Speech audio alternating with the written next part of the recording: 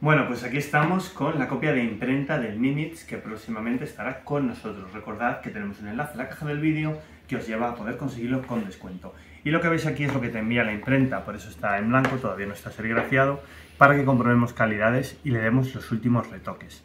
Viene aquí un dado de 10 caras, con el 10 como veis eh, pues de hecho de esta manera, no tiene cero. Y en el juego van a ser verde y rojo. Esta es, pues bueno, para que veamos el tipo de dado. Viene aquí el manual, al que también le haremos algunos ajustes de color.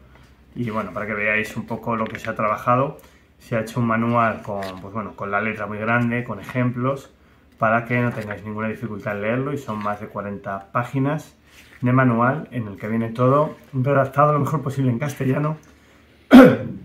e incluso hemos eh, reescrito, reestructurado algunas partes para clarificar cualquier tipo de dudas. Ha, pasado de 24 páginas a 44. Eh, ya. solo por los ejemplos y las descripciones detalladas eh, merece la pena, hmm. aparte de la traducción. La bandeja no venía, pero la he metido yo para que veáis un poco pues que con esta bandeja podéis tener todo organizado con una o varias de ellas, podéis meter varias, aunque el juego te viene con 20 bolsas zip para que podáis guardar los componentes. También vienen estas hojas de campaña, que aquí son folios, también para que veamos eh, la calidad de la impresión, pero luego van a ser cartulinas de un gramaje de unos 300 gramos aproximadamente, parecido a una carta gruesa. ¿vale? Aquí tenemos las campañas, 42 y 43, y aquí pues la hoja de registro, donde podéis ir apuntando vuestra partida, o incluso si la dejáis a media para continuarla después, pues apuntar un poco los puntos que lleváis. ¿vale?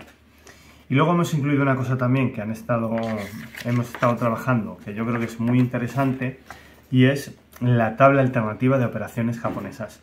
Esto hace que el combate sea diferente, que sea un poco más agresivo el bando japonés, y da una experiencia de juego un poco más intensa a la que ya viene de por sí en el juego.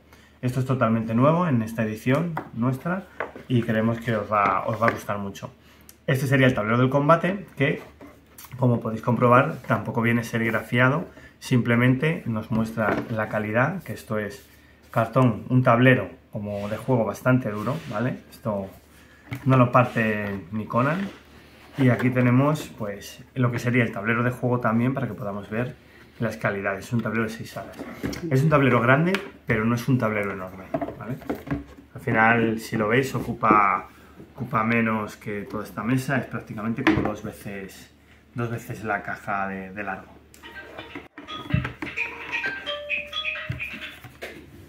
Y luego, pues lo que nos queda aquí serían las planchas, que bueno, igual, nos viene el grosor para calcular el tamaño de la caja, pero ya no viene en hecho. 16 planchas con las, con las esquinas de las fichas redondeadas, entonces vienen con corte individual y bueno, queda, aparte que el diseño gráfico se ha mejorado mucho, eh, va, a venir, va, a quedar muy bien con, hmm. con ese troquel. Y adicionalmente a eso, en papel viene impreso para igual, para que podamos comprobar el color, los diferentes elementos, aunque no vienen a un tamaño real. De hecho, aquí vemos la caja, que la portada es mucho más pequeña y viene con los dobleces y las marcas de imprenta. La contraportada, la parte, bueno, perdón, la, trasera de la caja, igual, también en tamaño más reducido. Aquí tenemos eh, las hojas de campaña que veíamos antes y por aquí vamos a poder ver las diferentes tablas y el mapa. Aquí hay dos mapas, ¿vale? Esto sería uno y esto sería otro. Esto es lo que os va a venir en el juego, en, la, en el mapa que he visto antes, en el tablero. Más o menos el doble casi que, que ese tamaño. Que dobla por aquí, ya, ya habéis visto, exacto, es el doble. Este es, esto sería un ala, así que casi el doble de lo que veis aquí. Y el tablero de juego, que, que como veis aquí está en pequeñito, y luego pues esto tendrá pues el tamaño que habéis visto antes con la tabla normal diferente a la que hemos actualizado con las cajas de, para colocar las unidades un poquito más grandes y todo pues reestructurado y en castellano vale para que sea más sencillo más legible y más fácil de colocar. El manual que te lo dejan de esta manera para que puedas comprobar también el número de páginas y que está todo bien ordenado. Y por aquí tenemos las fichas que vais a ver que son un montón y además están muy muy bien hechas. Hay un trabajo muy bueno de diseño aquí detrás. Todo muy clarito, muy elegante, se ve fácil su, su color con la bandera detrás de la ficha, a qué facción pertenece. En el original era un lateral y se veía poquito y aquí pues mira, pues lo tenemos todo bastante más claro. Y como veis hay muchísimas fichas. cada, cada dos hojas, o sea, este pliego contiene dos planchas. Este sería la trasera, esta la delantera, trasera, delantera, ¿vale? Así que hay muchas, muchas fichas, pero... Sí, cuéntanos. Sí, eh, cada campaña tiene, utiliza más o menos una cuarta parte de las, de las fichas. Luego hay fichas comunes para todas las campañas, como los planes de batalla que tenemos aquí, en Japón, eh, para Japón o para Estados Unidos, que es el jugador. Pero gran parte de las fichas solo se van a utilizar una cuarta parte para cada uno de los años, el 42, 43, 44, 45. Eso hace que si las tenéis ordenadas en bolsas, pues sea mucho más sencillo de preparar.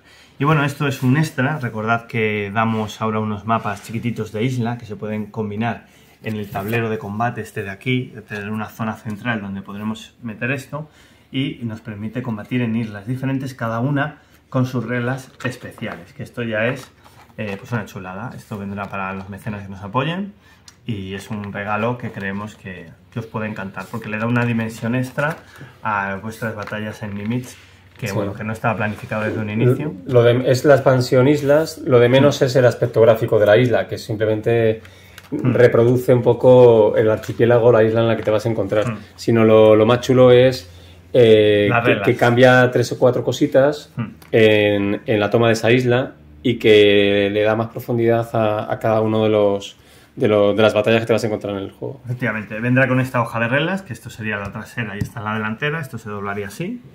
Y aquí tenemos pues dos, hojas que ya sabéis que se aplican, se utilizan los pliegos dobles para, eh, ahorrar espacio en la impresión.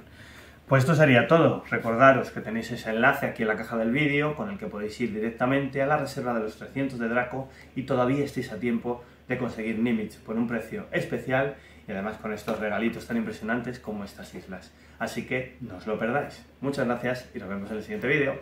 Adiós.